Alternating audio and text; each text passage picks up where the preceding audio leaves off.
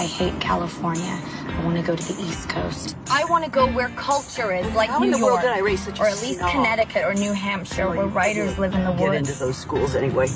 Mom, You should just go to city college. You know, with your work ethic, just go to city college and then to jail and then back to city college and then maybe you'd learn to pull yourself up and not expect everybody to do everything.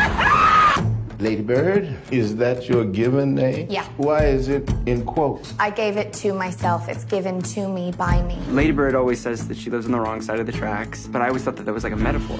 But there are actual train tracks. What she did was very baller. It was very anarchist. Put the magazine back! She has a big heart, your mom. She's warm, but she's also kind of scary. You can't be scary and warm. I think you can. Your mom is.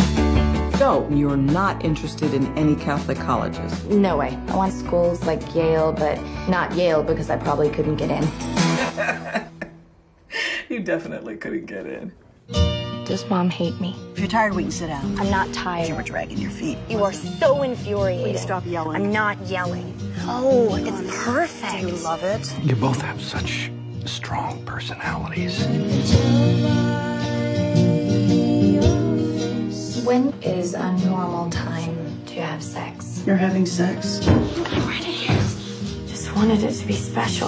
Why? You're gonna have so much unspecial sex in your life.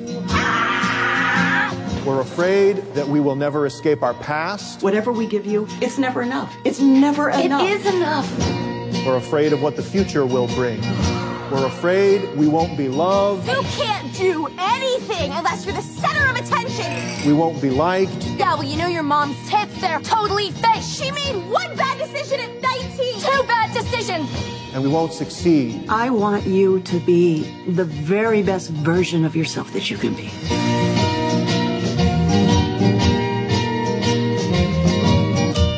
What if this is the best version?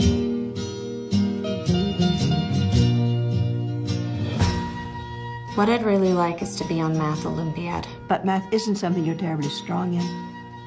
that we know of yet.